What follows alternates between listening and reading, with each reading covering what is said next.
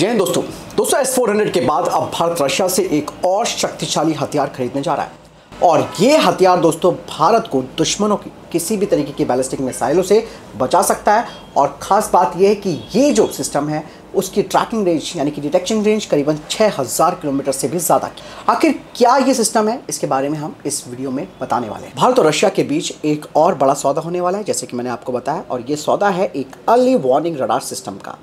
जो कि करीबन चार बिलियन डॉलर की खरीद हो सकती है, यानी कि ये सौदा काफ़ी महँगा भी होगा। लेकिन इससे भारत की रक्षा क्षमताओं में ज़बरदस्त इजाफा हो जाएगा, क्योंकि ये रडार है इतना घातक। इस रडार का नाम है वोरोनिश, जो कि अपनी क्षमताओं के लिए जाना जाता है। और इस सौदे को लेकर डील अब फाइनल स्टेज पर पहुँच चुकी है, और हाल ही में रशिया की तरफ़ से एक डेलीगेशन आया था, जिन्होंने भारत के साथ इस रडार सिस्टम को लेकर बातचीत की है। इस रडार सिस्टम को भी दोस्तों एस फोर हंड्रेड बनाने वाली कंपनी, जिसका नाम अलमाज एंटे हैं, उसने तैयार किया है। वहीं दोस्तों, ये भी कहा जा रहा है कि इस रडार सिस्टम में जो 60 परसेंट जो सिस्टम्स होंगे, उन्हें भारतीय भागीदार यानी कि इंडियन पार्टनर्स के द्वारा तैयार किया जाएगा, जो कि एक काफ़ी अच्छी बात भी है, क्योंकि हमें दिक्कत किस बात की होती है कि स्पेयर पार्ट्स और उससे रिलेटेड जो उपकरण होते हैं, वो हमें नहीं मिल पाते हैं, क्योंकि रशिया के ऊपर सेंशन लगे हैं। लेकिन अगर भारतीय भागीदारी से बनाते हैं तो ये टेंशन जो है, वो दूर रहेगी। वोरोनिश रडार दोस्तों, जो कि बैलिस्टिक मिसाइल विमान और लंबी दूरी की जो भी अन्य हवाई खतरे होते हैं, यानी कि एरियल थ्रेट्स होते हैं, उन्हें आसानी से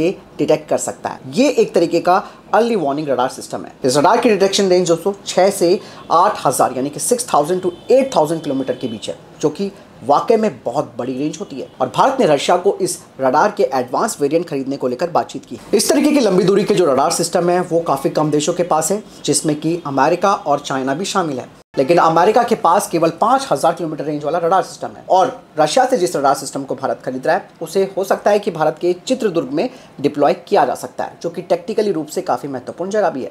रशिया ने 2012 में इसे डिप्लॉय करना शुरू कर दिया था और रशिया ने करीबन 10 वर्निश रडार सिस्टम को डिप्लॉय भी किया है। और अगर ये डील हो जाती है तो इसे भारत की ओर से जो एल है, यानी कि electronic and radar development establishment वो इसे हैंडल करेगी, जो कि डीआरडीओ का ही एक हिस्सा है। भारत दोस्तों 2022 से इस रडार सिस्टम को खरीदने को लेकर रशिया के साथ लगातार बात भी कर रहा है और डीआरडीओ के अध्यक्ष ने 2022 में मॉस्को की यात्रा की थी इस सिस्टम को खरीदने को लेकर। यहाँ पर बताया जा रहा है कि भारत की जो 50 से ज़्यादा कंपनियाँ हैं, वो इस प्रोजेक्ट में शामिल हो सकती है, जो कि 60 परसेंट इस रडार सिस्टम को तैयार करेंगे।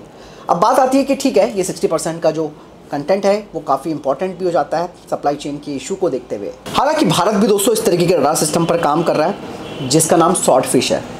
आप में से बहुत लोग इसके बारे में जानते भी होंगे और कुछ लोग नहीं भी जानते होंगे। शॉर्ट फ़िश जो है, वो एक भारतीय आईसा रडार है, जो कि लंबी दूरी का ट्रैकिंग रडार है।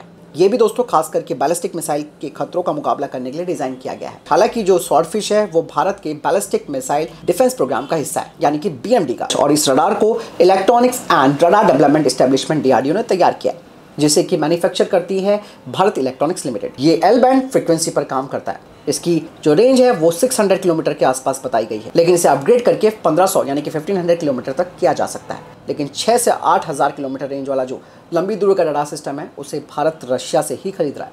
बात साफ़ हो जाती है कि भारत चाइना से अपने आप को प्रोटेक्ट करना चाहता है, क्योंकि चाइना के पास लंबी दूरी की बैलिस्टिक मिसाइल है। इसीलिए उनकी पहचान करना, वो भी समय रहते वो काफ़ी ज़रूरी हो जाता है। यही वजह है कि भारत का जो अपना शॉर्ट फ़िश का काम है, वो तो चल ही रहा है। लेकिन जो नया रडार सिस्टम है, जो अधिक रेंज के साथ है, वो भी बहुत ज़्यादा इंपॉर्टेंट हो जाता है। हालाँकि भारत कितनी संख्या में इन्हें खरीदेगा, इस बारे में कोई जानकारी नहीं है। लेकिन इतना है कि भारत इस सिस्टम को लेकर अपनी चारों तरफ़ से जो सीमाएँ हैं, उन्हें और सुरक्षित कर लेगा। फ़िलहाल, इस बारे में आपकी क्या राय मुझे कमेंट सेक्शन में लिखकर ज़रूर बताएगा जय हिंद, वंदे मातरम।